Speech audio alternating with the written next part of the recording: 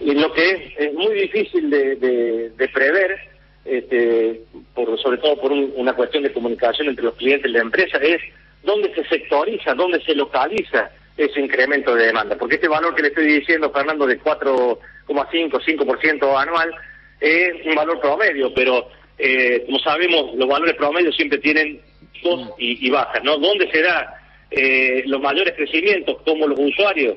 Este, por allí, por algún temor a que les cambie el cuadro tarifario, en fin, no nos, no le comunican a la empresa exactamente, bueno, hemos cambiado, he cambiado el equipamiento de refrigeración de mi casa o he incorporado eh, algún freezer más a mi pequeño comercio porque ahora provee otros servicios, cosas que son lógicas de, de cómo se va evolucionando.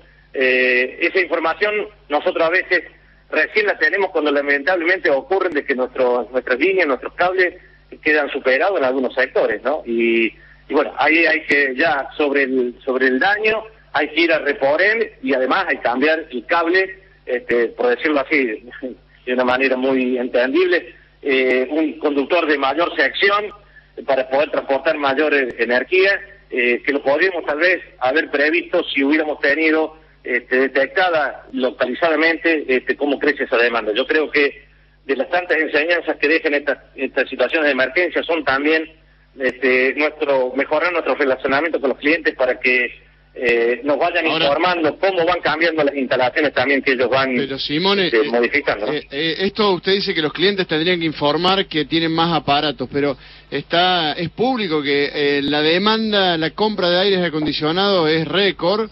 Se venden como pan caliente los aires acondicionados. Esto me imagino que la EPEC lo sabe y que esto va a significar. Sí, Fernando, pero a ver, yo no puedo saber si Fernando quiere decir compró dos aires acondicionados más y dónde vive o si Osvaldo Simone compró dos aires acondicionados más y a dónde vive. Es decir, a ver, o sea, usted me está diciendo que si yo le cuento a usted que tengo dos aire acondicionados más, usted me cambia el cable de distribución de la energía. Yo puedo saber si el sector donde usted vive, este, y, y, no solamente en un caso aislado, sino si tuviéramos registro directo de eso, sí podemos saber tal sector realmente va a estar más solicitado este, y, y, lo, y lo vamos a ver antes que tengamos el consumo excesivo.